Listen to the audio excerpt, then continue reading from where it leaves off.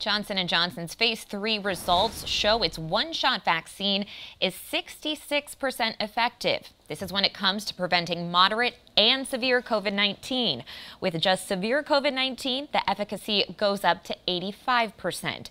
Johnson & Johnson says it plans to file for emergency use authorization from the FDA within a week. Infectious disease experts acknowledge this is less effective than others on the market, but it's inexpensive. It only has to be refrigerated instead of frozen, and it's just one dose.